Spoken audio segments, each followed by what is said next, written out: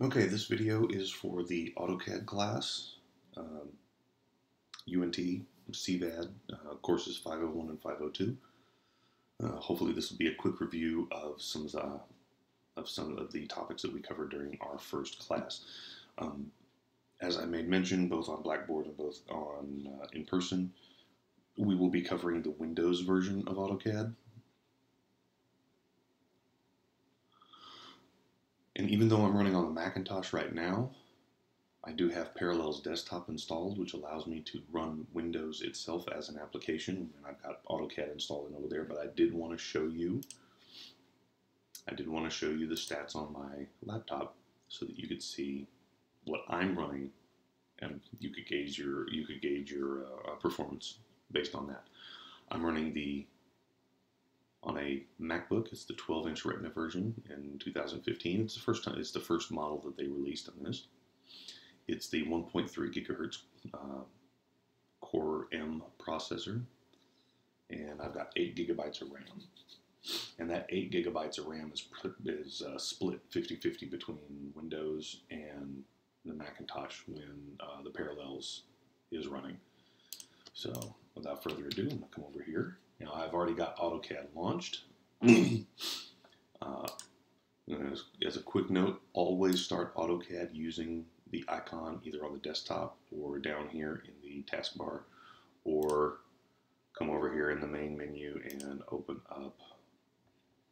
I hate it when things move around.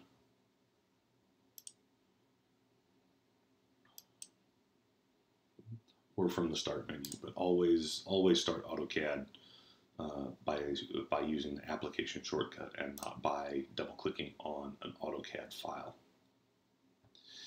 and we're left, we're started here with what's called the start page, and we will always start with a template. So I will right click down here where it says templates, go down to the third item in the list, acad.dwt. In AutoCAD, there is a coordinate grid system that is always implied and it's always accessible. Most of the time, we're going to be using left clicks of the mouse in order to draw things. Um, drawing uh, with left click is always a click and release. Very, very rarely do we do any click and drag operations within AutoCAD. For this class, we're going to be focusing on these icons here in the draw menu. The next video will be cover everything in the second class, and that's the modify tools. We'll do that next time. For every AutoCAD, excuse me, for every AutoCAD command here in the icon, or here in the ribbon, if you hold your mouse over the icon but don't click on anything, it will bring up this, uh, you can call it an index card or the Cliff Notes version of what the command does and how it works. So a line, is the shortest, uh, the shortest distance between two points. We remember that from our geometry class. So I'm going to left click and release. And here I can just click anywhere. And as you can see, the numbers track with me. So there's that implied coordinate system. So I'm just going to left click.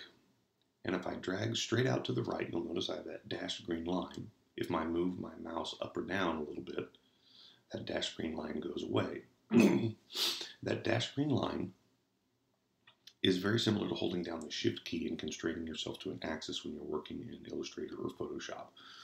We don't hold down the shift key in AutoCAD, but they give us the dash green line that sort of rubber bands us and holds us onto that.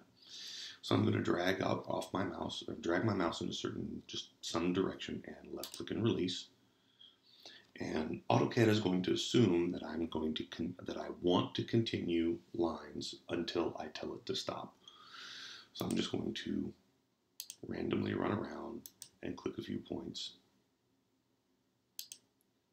and then come back out. And when I'm done clicking my, when I'm done drawing my lines, I can either push return on the keyboard, the enter key, or I can push the spacebar. In AutoCAD, that amounts pretty much to the same thing. and lines are all individual. You'll notice if I hold, hold my mouse over, as I hover my mouse over each line segment becomes highlighted. These are all individual elements, and I'm not clicking on anything yet. If I want to select an object, then I will hold my, my cursor over it and I will left click and release. Now these blue dots not only indicate the, uh, the places I can click in order to edit these objects, but they also help tell me what type of object they are, and I'll, I'll get to that in a minute. And I can left click on another line, and I can edit both of these lines just by clicking on this little square right here. And you notice as my mouse snaps over it that that square turns red. That means that if I left click now, that will be the, uh, the, uh, the grip point that I'm editing. So I'll left click, and I can move that line around. If I want to deselect something, this is where I hold down my shift key and I will click on the object I want to deselect. So hold the shift key. If I want to add anything to what I've selected, I just let go of the shift key and I click on the object that I wish to select. If I want to unselect everything, and I just click the spacebar or the uh, escape key, and it unselects everything. There's a few other ways to select objects in AutoCAD. AutoCAD, during selection, always uses what's called implied windowing, which if you left click and release just here in outer space, then it will begin a window. And you'll notice it's filled with blue. Any object completely inside that blue window will be selected when I left click again. I will click the escape key and unselect everything, deselect. Alternately,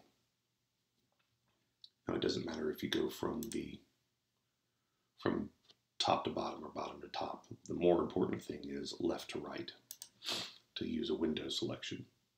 The alternate method is to use what's called a crossing window, and that's if you start on the right hand side and then move to the left. So if I click here, just here in outer space, click and release, and then move my cursor to the right, or to the left rather, you'll notice that it's green and that the, uh, the, the, border line is, uh, is dotted. That's a visual cue that your, that, that your selection set is going to be different than moving to the right, where the window you're selecting is blue and solid. So green always means a crossing window. Any object that crosses this boundary will be selected. So let's do that again. I'm going to left click here on the to the left of this line. I'm going to left click and release and I'm going to move my mouse down and to the right to make a selection window. Left click and release and my object is selected. I'll push escape, deselect everything. And now I'm just going to start here in the middle of this particular line. I'm going to left click and release and move my mouse to the left and down. And as I cross these lines,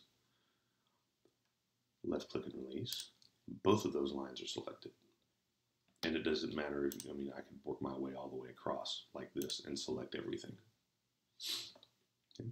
I'm going to click escape, clear out everything. There's two more ways to select an object. One is with the lasso tool. And those of you who work in Photoshop and Illustrator know about the lasso tool, but the way to use it in AutoCAD is this is one of the few times where you will left click and hold, and it creates a very irregular shape that simply follows where your mouse goes. And then when you're done with this particular lasso, then you release your left mouse button. Those of you who are on, on a laptop, especially a Mac laptop, I do recommend an external mouse. It's just, it makes things a whole lot easier. And I'm done with this. I'll click escape. And just as we had the selection window and a crossing window, you also have a crossing lasso. It all, and, and which, which one it is, whether it's a selection window or a crossing window, it all depends on which direction you move your mouse. So if I left click, if I start on the right hand side of my objects and I click left click and hold my mouse and drag around to the left, any object crossing will be included in my selection set. Okay. Click escape. And I'm done with that.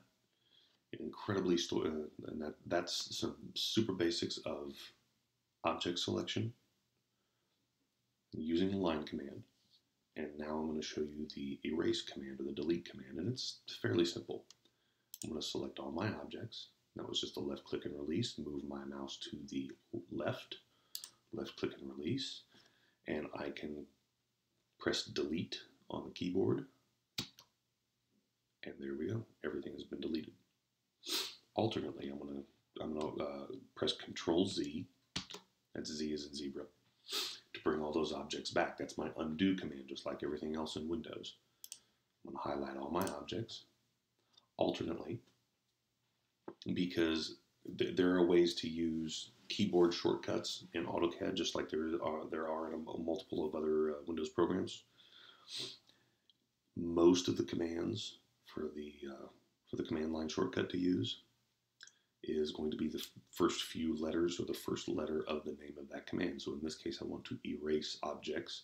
So if I type E at the command prompt and then push the space bar, press return, that will erase my objects. It also happens to be that icon right there. And again, I'm just holding my mouse and it brings up it brings up the little uh, flashcard to tell me how this command works. Okay, so that's lines and some basics of uh, element selection.